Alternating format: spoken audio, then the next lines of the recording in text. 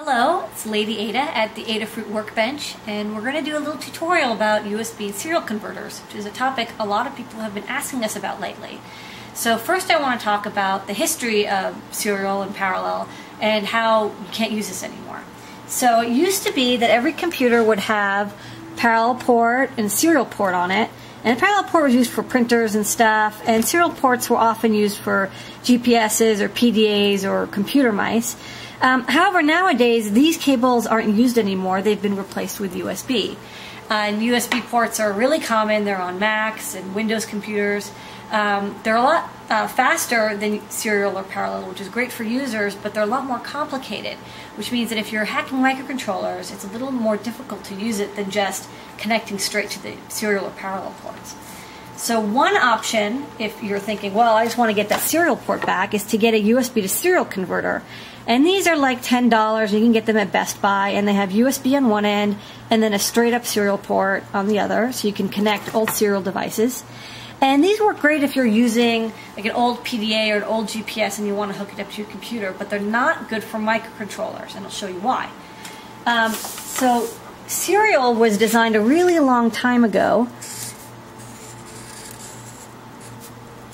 And one of the things that they did to make sure that it could go very long distances is to make sure that the data lines are plus or minus 10 volts. So that's 20 volts between the positive and negative um, signal lines, which is way too high for a microcontroller. Most microcontrollers over here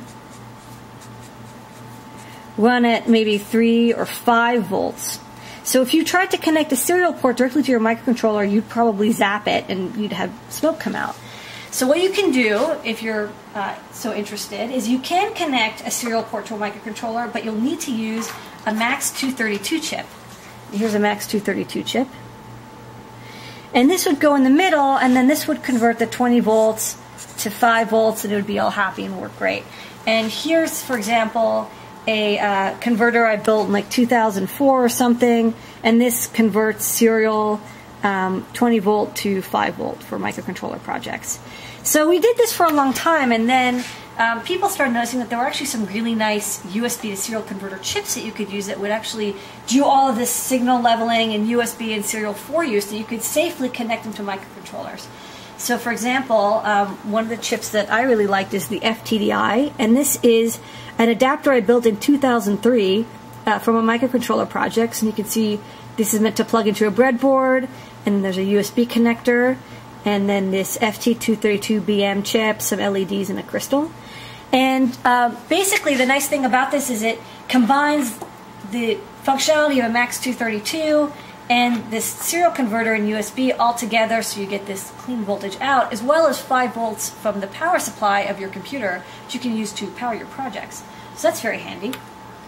So, um, the latest version of this chip is the uh, FT232RL, and you can see it right here actually on an Arduino, which is one of the nice things about Arduinos.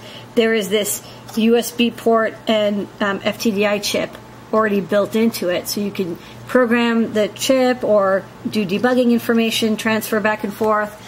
So that's really handy. But what if you're not using an Arduino? You want to move on or you're using a different microcontroller like a PIC? Well, um, we suggest using something like an FTDI cable.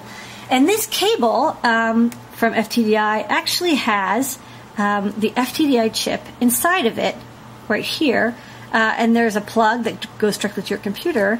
And on the other side is some color coded wires that have the power and serial data transmit and receive, much like this breadboarded version from a long time ago.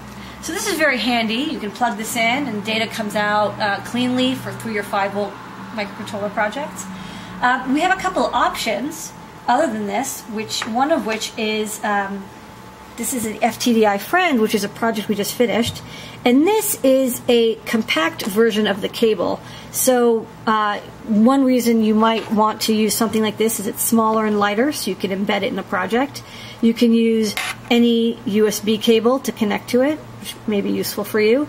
Um, it's less expensive and uh, one of the things we like about this design is that you can change the voltage from 5 to 3 volts, especially for projects that need to use one or the other and are not um, compatible between the two, so you can uh, change it around. And there's also LEDs that blink when you uh, receive or transmit data, and that can be useful to check if your project's working.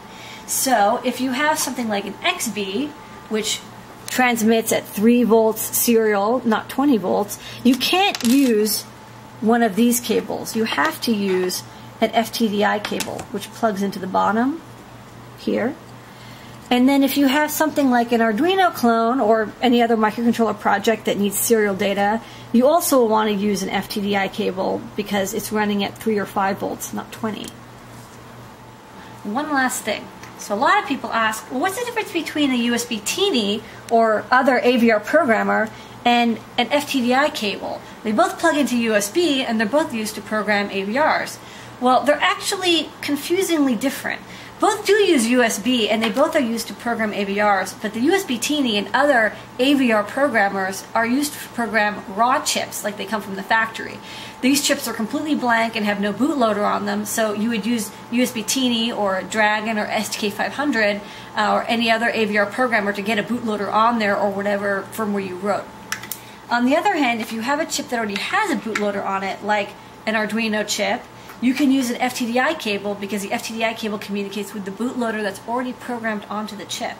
So you can use something like a USB-T to put the bootloader on, and then the FTDI cable to upload new firmware via the bootloader.